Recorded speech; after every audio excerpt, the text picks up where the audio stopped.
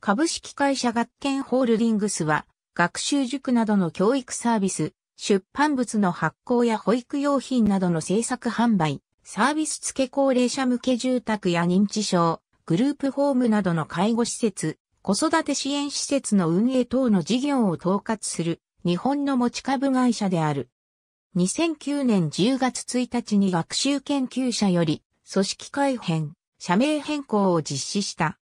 中学コース、科学と学習等の教育雑誌、学習参考書、辞書、辞典等教育関係の出版を中心に発展した出版社である。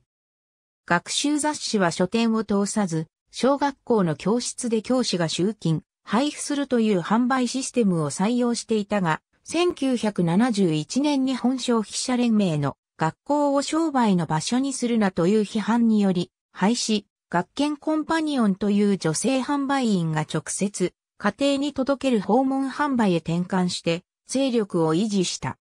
小学校の保健、中学校の保健体育教科の教科書や学習指導要領に準拠した各科目の副読本、ワークブックを教育機関向けに発行している。1990年代以降、自宅学習、補習の分野で学習塾、通信教育や学研 GIC による学研大学入試現役合格システムなど、高単価サービスの販売へ軸足を移した。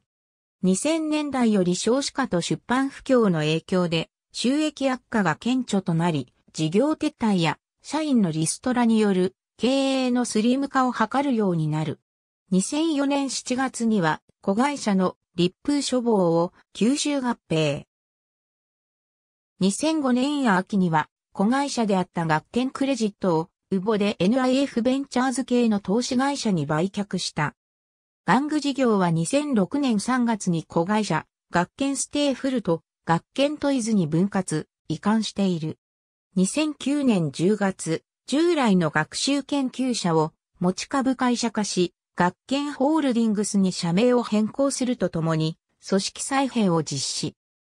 学研エデュケーショナル、学研パブリッシング、学研教育出版、学研マーケティング、学研出版サービス、学研プロダクツサポート、学研ビジネスサポート、学研ファシリティサービスを新設分割設立会社とする新設分割と100%子会社である学研教育未来、学研ネクスト、秀潤社と学習研究社メディカル出版事業部の合併による学研メディカルシュールー社を吸収分割承継会社とする吸収分割を実施した。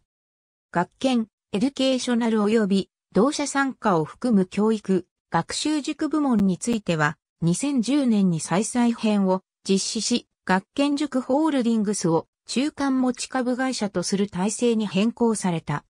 2014年8月29日、栄光ホールディングスと双方の株式を持ち合い、資本業務提携すると発表。主力の教育サービス事業に連携を広げるとしている。1962年落成のかつての本社は東京都大田区上池台にあり、東海道新幹線及び横須賀線で多摩川を渡り、東京都内に入った際の目印として親しまれたが、老朽化が進んだ上、業務拡張により末期は他に2軒の自社ビルと民間ビルに分散していた。交通の便も悪かったため、20世紀末には品川区西五反田の土地を取得し、2008年秋に当地に建設された現本社へと移転した。本社跡にはスーパーマーケット、ライフ上池台店が立地している。広島県に本社を置く家庭学習研究者とは無関係である。書店のあらゆるジャンルの棚に学研の本があると言っても良いほど同社のカバーする領域は広いとされる。かつてはママッコに AV 女優の、また、ボムに読者投稿のヌード写真が掲載されていたこともある。ほか、週刊テーミスやママッコでは性風俗店の紹介記事が掲載されるなど、教科書発行の傍ら幼児教育からエロ本までカバーしていた時期もあった。関連事業も手広く、例えば学校向けの教育映像制作、アニメーション制作出資、学研アソシエのオサム支援事業、博物館等におけるディスプレイ設置事業などがあり、最近は e ラーニングや電子書籍事業への参入も行っている。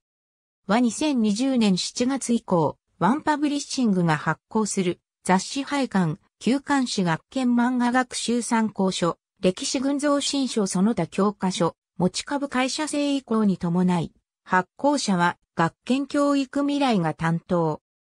福徳本、中学保健体育実技は2000年発行分まで、表紙に、ラブスポーツとサブタイトルが掲げられていたが、これが英語で、成功を良いとする、胸の外部からの指摘が2000年11から12月にあり、翌年発行分から当該部分が削除される事態となった。福徳本のため教科用図書検定などによる文部省のチェックは対象外である。作品の権利は学研教育出版学研プラスへ承継されている。アニメーション制作1980年代前半から1990年代前半までゲームソフトの開発、販売を行っていたが、1996年に撤退。その後、2006年にスクウェアエニックスと新会社 SG ラボを設立し、シリアスゲームの共同開発で提携。2007年より学研が SG ラボ開発タイトルを発売し、ゲーム事業に再参入する。1978年に倒産した下請け会社の労働組合である東京富士赤角労働組合は倒産以後より学研側に対して団体交渉を要求しているが、東京都労働委員会と中央労働委員会は、学研は使用者ではないと認定。その後、藤瀬側は、これを不服として裁判所に申し立てをしたが、最高裁判所でも2003年3月14日に、学研は使用者でないため、団体交渉などに応じる義務はないとの判断がされ、法的には、藤瀬、側の主張に理由がないことが確定した。学研側も藤瀬側との労働争議は存在しないので、団体交渉などに応じる必要は一切なく、今後ともそのつもりはないという立場を維持している。2017年2月10日には、学研側が藤瀬側に提起した裁判にて、学研側が最高裁で勝訴している。ありがとうございます。